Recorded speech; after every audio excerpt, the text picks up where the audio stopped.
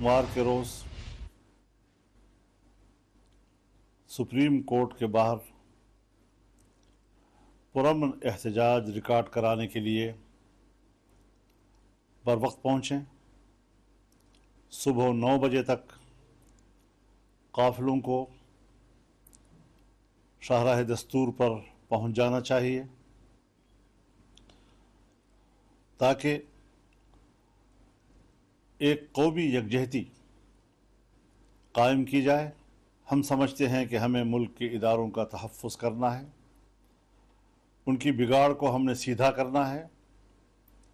ये पाकिस्तान के अवाम के गरीब लोगों के टैक्सों से तनख्वाह लेते हैं और आज वो आइन को भी पामाल कर रहे हैं, कानून को भी पामाल कर रहे हैं, अदालती रिवायात को भी पामाल कर रहे हैं।